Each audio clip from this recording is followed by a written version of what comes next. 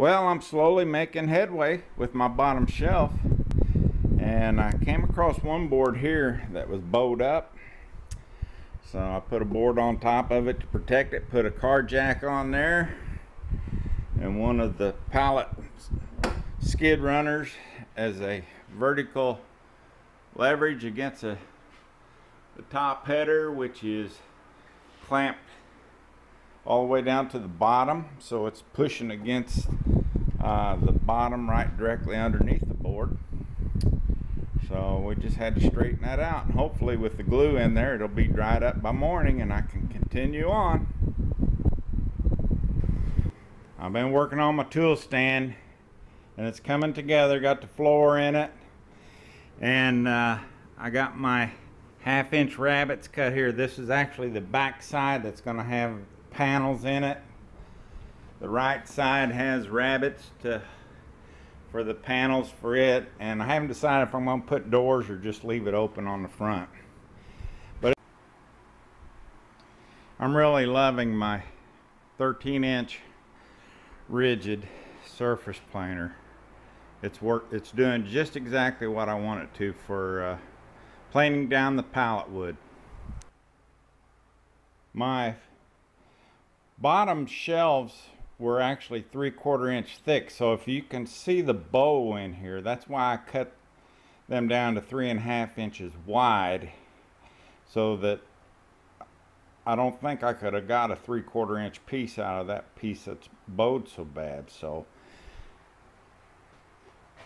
With the three quarter inch pieces done on these side panels I'm just going to use uh, half inch because I cut this rabbet that you see right there one half inch deep.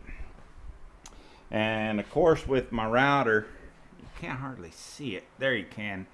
Uh, there's actually a radius here. So I've taken I went back to my old drawer and found one of my electronic drafting stencils that I used in college.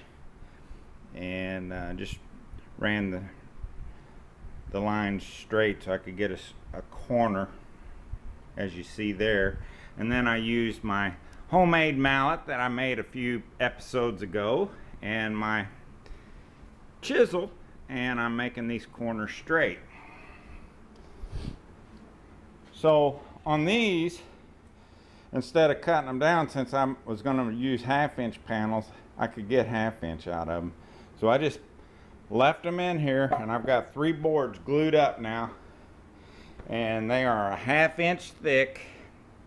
And here in just about 20 minutes or so I'll take my chisel and knock all the glue pieces that are seeping out of the joints uh, then that'll be squared up. It's oversized right now so that I can plane it where I've had my jaws of life down there holding it together I'll plane that off and then I'll put it in the table saw. Whoop, excuse me.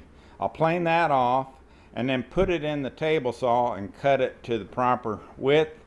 And then uh, the best of my ability, I'll just use my, I wish I had a, a sled, but I'll just use my miter square and, and cut it to length as square as I can. And then glue and screw it into this rabbeted joint. And then I'll do the same over here. I'm doing them separately because there is about a 16th of an inch difference in the width of these. So I'm gonna ha I have to make my panels separate. So I'll just make them one at a time. So we'll see you in the next few steps.